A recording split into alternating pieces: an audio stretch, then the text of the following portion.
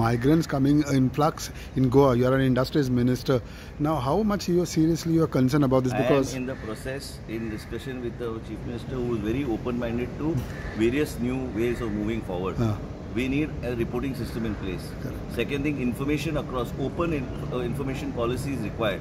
Just like in Maharashtra, there is no question of privacy policy can be there. But yes, the information flow between departments has to be there. Then we are able to come up with a proper policy.